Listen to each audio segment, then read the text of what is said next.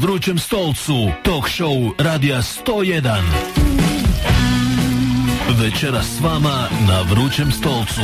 Nikola Kristić, bivši urednik informativnog programa, a sadašnji predsjednik aktiva novinara HTV-a. Vanja Sutlić i Hloverka Srž nisu ljudi koji bi mogli nešto dobro napraviti. Jedan i drugi imaju u prošlosti i neki crni točaka i ja ih naprosto ne podnosim. Mislim da je on pristran, a ona još više. Ona ima na zubu odlične novinare. Moguće da ona ima malo jedan pristup u kojem želi autoritarno odlučivati oni gdje možda treba i ne treba. A Vanja Sutlić odrađuje svoj posao. Vrijeme je stvarno da ode i to sam, a ako ga se treba sterat, nek ga se stere. E, Vanja Sutlić je sa tom izjavom da je novinarka HTV Ivana Dragićević etnička kurva napravio doista sramotan potez i morao bi podnijeti ostavku sam, valjda je toga svjestan. Ako nije, onda doista živi u balonu. Dakle, imamo taj etički kodeks, e, imamo situaciju koju ćemo iskomentirati, dakle četvoro novinara i to je pokrenulo onda nakon toga cijelu jednu lavinu događanja, ali recimo ove izjave koje smo čuli na početku, da li se sad njima nešto može dogoditi? E, može se sve dogoditi e, u ovom našem društvu, vidimo što se zbiva ne samo u posljednje vrijeme, ali posebno u posljednje vrijeme. Etički kodeks e, je pravilnik nekakav ove naše kuće koji bi trebali onda svi poštivati, koji bi trebao biti jednak za sve, koji bi se trebao odnositi na sve. Tako je pravo nalaže, tako Ustav hrvatski govori. Ljudska prava su takva, dakle ne manja ili veća, nego su jednaka za sve.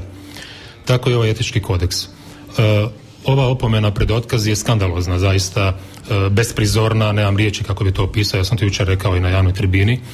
Apsolutno, osobno ne mogu se s tim složiti, suglasiti i vjerojatno ćemo i kao izvršni odbor pa i ogranak o tome ponovo raspravljati jer to nema nikakvog smisla. Prvo, niko prijavu vidio nije. Ta prijava nije upućena etičkom povjerenstvu. Etičko povjerenstvo se nije uopće sastajalo. Sindikat je uopće odbacio e, e, primisao da sudjeluje, piše u tom tekstu sindikata u toj farsi. Dakle, onaj ko je prijavu poslao, tu fantomsku koju niko vidio nije, kolege se nisu mogli dakle ni braniti jer moraš se braniti, moraš vidjeti e, što te se tereti da bi se mogao braniti. Oni to vidjeli nisu. U tom smislu i donesen je i sud. Znači, ja te tužim, ja sam sud, ja donosim odluku. E to tako ne može. To jednostavno nije u redu, to je nedemokratski, to je protiv svih, svih pravila i protiv prava pa i pravičnosti popularna riječ je danas u Hrvatskoj. Smatrate li vi da se širi strah prisavljem i čega se ljudi boje na kraju krajeva vi ste i rekli, izjavili ste da se e, strah širi prisavljem, a recimo s druge strane Sutlić je nedavno izjavio kako je on žrtva zavire i spominjući ga već sada treba reći da smo ga zvali. Dobro, bivši, samo neki bivši su nam tu podlazi. Ovoga, zvali smo ga, on nije nikako htio dati izjavu. Evo, čisto da kažemo da je bio pozvan da, nešto kaže. Evo, ja sam, ja sam sudjelovao u emisiji kada je gost bio glavni ravnatelj, mislim da je i, tadašnja komunikacija i bila usmjerena u jednakom nekakvom uh, boljitku, ka boljitku kuće. Dakle, i, u ovom smislu nije to, uh, to nisu struje, uh, to nisu ratovi, to nije personalni napad na bilo koga u tom smislu, ovo je e, glas za promjene u kući, glas za komunikacijom, glas za uvažavanjem razmišljanja i drugačijeg razmišljanja, pa da se napravi nešto dobro.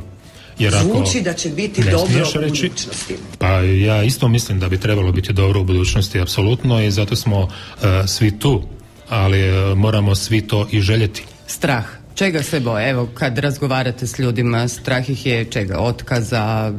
Pa, što reći, što reći nakon, nakon e, ovih opomena pred otkaz? Što to jest ako nije zastrašivanje? E, pa dobro, imao sam i ja nekakvih poziva kad kažem u javnosti jer to je bilo zaista poplava ili bujica poziva svih medija za komentar, za, za izjavu i tako dalje.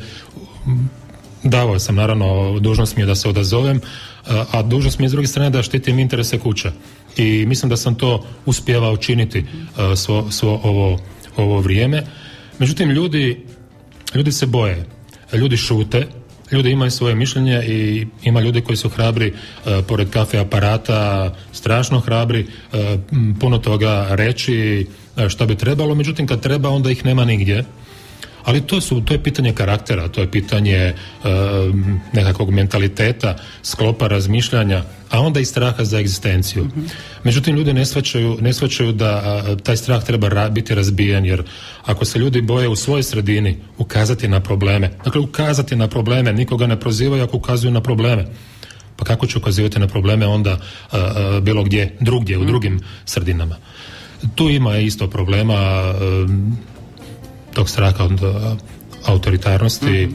od određenih represija koje eto postoje, ovo su, što ovo jest ako nije odmazda, ostalom to kažu i relevantne drugi ljudi, sudionici javnih rasprava na, na ovu temu. Ja ljude razumijem, apsolutno, ni meni nije svejedno, ja sam jednostavno pod rafalnom paljbom sa jedne strane da štitim e, interese struke, ljudi, apsolutno. Niko nije dovoljno zadovoljan. Niko nije dovoljno zadovoljan. S jedne strane, s druge strane, čim nešto kažeš, mm. pojaviš se u interesu struke, e, suprotno razmišljanju e, rukovodne strukture, bila ona urednička ili baš poslovodna, kriv si, postaješ neprijatelj. Jasno. Dobro, ako je to neprijateljstvo, svaka čast. Neka, biću. Jučer je u Hrvatskom novinarskom društvu održan okrugli stol o stanju na HTV-u s kojeg je poručeno Hrvatskoj radioteleviziji da je dotakla dno. I u poruci piše da je klima cenzure i ugroza profesionalnih i ljudskih prava, e, da se traži odgovornost Vanje Sutlića i Hloverke Novak Srzić. Hloverke je poručeno i da je zbog svog angažmana u tajnoj službi kao bojnica koju je odlikovao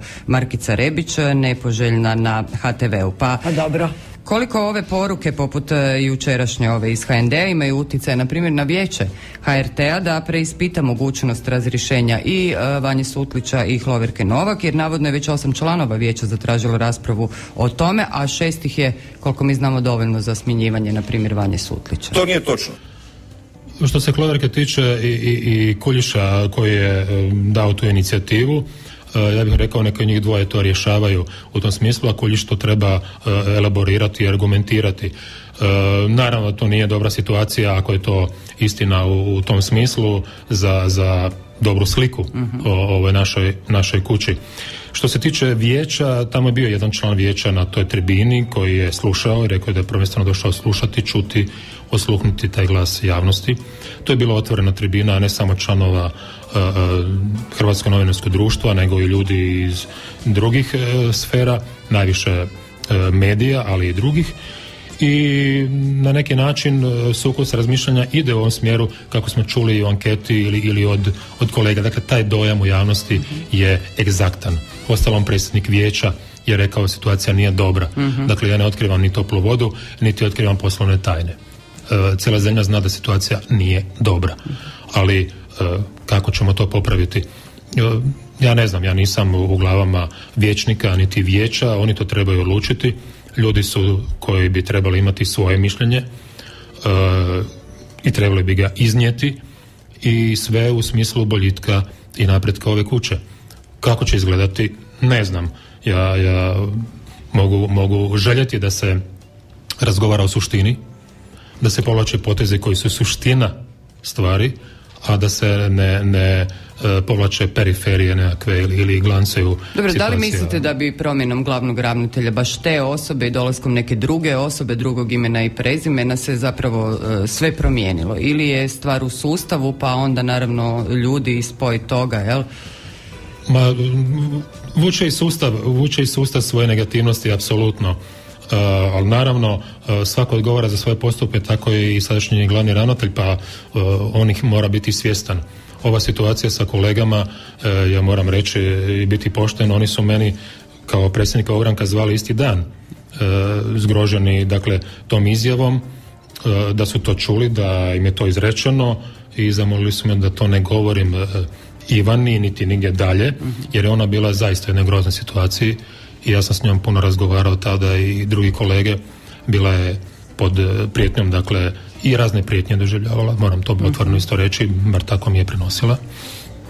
Nemam razloga je to ne vjerovati, ne vjerovati apsolutno. I e, da kako zadržao sam to za sebe jer ja nisam bio izravni izravni svjedok ali mi je to preneseno istodobno. To nije dobra situacija to zaista nije dobra situacija i, i, i to što je izrečeno svako bi trebao prema svojoj savjesti i, i snositi posljedice u tom smislu. E, što će vijeće napraviti? Vijeće ima naravno ingerencije i po zaposlovanje i za program za razne druge devijacije vijeće može pokrenuti inicijative. Vijeće bira, dakle vijeće može i razrješavati. Međutim, e, je li to dovoljno, hoće li oni okrenuti u tom smjeru, ja to ne znam zaista. Mhm. Ali da, da u kući e, su potrebne promjene i jedna riječ je popularna u zadnje vrijeme, junction, uh dakle jedno raskrižje ili jedna prekretnica, potrebna je i ovoj kući isto. U ovoj kući radi 50% ljudi sa 10% kapaciteta. Kad bi se to okrenulo da 50% ljudi radi, radi sa 50% kapaciteta, ova bi kuća prštala od pozitivne energije, od sasvim drugačijeg pristupa, od boljih odnosa, od boljeg posla i od boljih rezultata. Ali puno toga treba napraviti da se do toga dođe. Imate ljudi koji ne rade, međutim e, ima e, situacija da ljudi za to nisu krivi. Da, jednostavno nema trenutno za njih Pa to je pitanje i rukovodne strukture. Ne. Ljude treba zaposliti. S druge strane, e, to je opće poznata stvar i to su najveće primjedbe i društva redatelja, filmskih redatelja i tako dalje. Mi ne snimamo e, velike projekte, e, reemitiramo reprize već po ne znam 20. Mhm. put gruntovčane, ali što ćemo za 10-20 godina reprizirati? Ali imamo sapunica, jako puno. I sad vi imate situaciju kupljena je sapunica kao jeftina je recimo za 20 milijuna kuna, mhm. nemojte me shvatati za riječ, to uzimam na primjer, kao to je jeftino. Međutim, e, e, moja teorija to ne košta 20 milijuna kuna, nego 40. Zašto? Zato što mi imamo e, redatelje, sve ljude sposobne, tehniku, tehnologiju, koja to može snimiti, koja to može raditi, scenariste i tako dalje. Međutim, oni to ne rade. Ali su zaposleni primaju plaću. Jasno, primaju svoju plaću. Prema tome plati se 20 kupovina, što relativno I kao još jeftino, plus za ove ljude ali se plaćaju ljudi koji to ne rade. Ali što je još najgore, moramo biti opet pošteni pa reći uh, vanjske produkcije nemaju dovoljno kvalitetnih kadrova, ljudi, tehnike uh, u tom smislu I, i onda se ljudi koriste i neki ljudi s naše kuće da dodatno nešto zarade. mm Tako da tu su, tu su mogućnosti. Poprilično jedna spetljana situacija. Apsolutno, apsolutno. Da. Dakle, Biće ju teško raspetljati. Mogućnosti uštede su fantastične. Da, naravno. Ali, kren, ali... krenemo u pravim smjerovima. Zanima me kako to da ovu aferu oko Sutlić ovih novinara nije prenio nijad dnevnik uh, tipa RTL i tipa Nova. Uh, jako zanimljive vijesti oni prenosi koje su vijesti puno manje bitne važnosti. Ovo isto javno poduzeće. Mhm. Kako to da kolege sa nacionalnih komercijalnih televizija u svojim dnevnicima nisu prenijeli tu priču? Dobro, to naravno nećemo moći odgovoriti ni kolega Kristić ni ja, da, da nemamo nažalost nikog snove niti RTL. Da, mnogi konkluzije već izvukao. Šta bi mogli reći? Da. Da, Odgovore, da. da ali, ali možda ipak samo dvije, tri riječi. Ovo je zanimljiva teza koju je on zapravo usporedbu po, po, povukao, dakle HTV-a kao jedne javne, e, ali ne televizije, nego zapravo jednog poduzeća, jel, kao što je HEP, HAC i tako dalje, gdje afere kuljaju na van e, poprilično i svi se bave time. E, korupcija na HTV-u je jedna tema o kojoj se zapravo ne govori. Pa sve ovo što se govori zapravo je jedan koruptivni rizik i ukazuje na, na, na e, koruptivne rizike u hrvatskoj televiziji. Postoje koruptivni rizici u programu, postoje u, u poslovanju i tako dalje. Međutim, e, prazne priče, dojmovi nisu dovoljni. Nisu dovoljni niti u HEP-u, pa eto sada se otvorilo. Zašto nije prije? Znate, svi na neki način znamo kao i e, sastaviti nogometnu reprezentaciju, međutim e, treba to dovesti, dovesti do kraja. Zapravo institucije trebaju to je tako ofucana da, ali, fraza, ali to je, to je činjenica, ali treba raditi svoj posao napokon u ovoj državi. Ono sam rekao, i na Hrvatskoj televiziji svako treba raditi svoj posao, ne nečiji drugi. uh Svako treba nositi svoj dio odgovornosti, a ne e, ja ne mogu odlučiti, pitam iznad sebe, pa ovaj iznad sebe i da zapravo jedan čovjek odlučuje svemu. To je nemoguće. To je kaos. Svako treba ponijeti svoj dio odgovornosti, e, donositi odluke i za to odgovarati. E, korupcija. Pa puno stvari je otvoreno, puno stvari, puno afera ima. E, kažem, ja nisam istraživač, mi mhm. nismo istraživači u ovom smislu, niti novinari, bilo koje druge medijske kuće u svojoj kući imaju mogućnost to istražiti. Kako da oni to istraže? Dakle, mi možemo istražiti u HEP-u e, i Hrvatska televizija je naravno otvorila nekakve, nekakve teme među prvima ili prva svih ovih godina, ne mislim mhm. sad e, u ovo vrijeme ili zadnje vrijeme. teško je to u ovom društvu, puno toga neštima i onda je taj refleks i u onoj našoj kući. Nažalost, ova naša kuća ima stravičan refleks prema društvu. I vi vjerujete u to? Apsolutno da. Ima stravičan refleks prema društvu i ako reflektira nešto dobro, onda je to dobro za društvo. U ovom trenutku ne reflektira dobro i to je jedan konsenzus i gledatelja i evo vidimo i, i novinara i ljudi koji su u programskom vijeću dakle ne reflektira dobro znači junction. Da. Dakle, novinarska struka mora biti puno jača, čvršća i homogenija u cijeloj toj priči, pa će onda i pomoći javnost.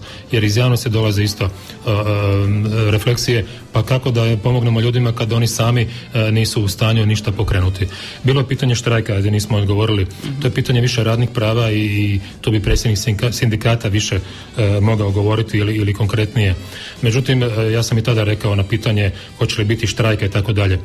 Sve je moguće u ovom našem društvu je što nismo doživjeli, ali možemo, nažalost, možemo i to doživjeti. E, svako treba prosuditi prema svojoj savjesti i ponijeti tu odgovornost na svojim leđima i stati iza svoga mišljenja. Napokon u ovom društvu treba stati iza svoga mišljenja i nikoga se ne bojati, nikoga ne vrijeđati, nije ni to dobar put. Nema vrijeđanja, ali ima sukoba mišljenja i iza toga treba stajati. E, sad moramo završiti. Evo sad Hoćemo. E, pitanje je gdje je dno, dotaknuli smo dno. Nismo još dotaknuli dno. Dno se, nažalost, još ne nazire, jer vidimo i u našem Bilo društvu. bi dobro da je dno, pa onda da, znaš da, pa si sad došao do kraja. Stalno se događaju nove stvari i više ne znaš uh, kuda to vodi. Što još treba se dogoditi? Na pivu, rekao treba naš se, treba se, uh, treba se odmaknuti od politike svatko se treba odmaknuti od politike, e, programsko vijeće se treba odmaknuti od politike u ovom društvu, e, da mediji, ovaj medij bar koji je javni i koji može biti slobodan medij, javni medij, najneovisniji medij, da, da jednostavno politika nema utjecaja na njega. To je osnovna premisa za, za promjene, za to raskrižje koje, o, kojemu, o kojemu govorim ali to treba poći i političari od samih Baš sebe. sam htjela reći, to zahtjeva jednu depolitizaciju od, društva kao od, takvoga, da. Od čovjeka. Ja, jer kod nas je politika i dječji vrtića, kamoli ovako dubiozne Svaki teme. se. Međutim, političari su, to je taština stravična. Znate, uh, ovaj drugi je mogao toliko u programu, tako oni govore, ja sam prenosim što govore, pa idu i oni tražiti da i sad da hoće li to dobiti ili neće. Ma slušajte, uh, toliko smo već i stari i iskusni da znamo što se događa i sa ove političke strane i što se događa i, i insiderski kod nas uh, u medijima. Teška je situacija, mediji nisu uh, nikad bili kontroliraniji nego li su danas. Bila je teška situacija 90. godina, ja sam već star pa sam prošao i to, apsolutno znam, ali još dovoljno mlad da se mogu boriti za, za dobrobit. Za ovaj, budućnost. Za budućnost.